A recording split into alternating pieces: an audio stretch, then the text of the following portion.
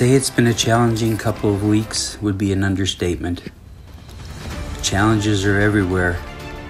People are losing their jobs, people are losing their businesses, but there's lots of good going on too. People are helping each other, people are supporting each other, whether it's colleagues or friends or community members or local businesses.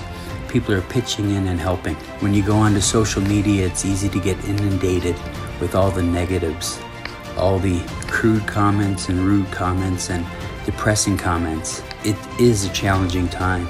It is a scary time, and the hype and the sense of panic makes it really difficult to keep your head about you and to focus on what's within our control. Dr. Robert Schuller said that tough times don't last, but tough people do. Now, he wasn't talking about tough as in rough and tough like John Wayne. He was talking about resilient people, people that can keep pushing forward when things are looking lost and when you're scared. But like I said, there's lots of positive examples. Today, Bison was out helping their neighbors, offering to clean some of their equipment, clean some of their buildings for no charge, just to help keep people active and busy some of the workers were not even concerned that they might not get paid yet because they were trying to pitch in and be positive not only for their community but for the company that supports them in Bison. It's interesting when you actually give without the expectation of receiving, things can come back to you too. One of the people we offered to help suggested that maybe we come back and clean a lot of their equipment next week in a real paying job. But the expectation to give without receiving is the key in many things. And the expectation to do what's right and to help our fellow man are some of the keys in trying to get through this. Trying to be a positive light. We're all going to know people that have lost their job. So let's look out for each other out there. Let's try and share our gifts and share our strengths and sometimes just share our spirit and our attitude.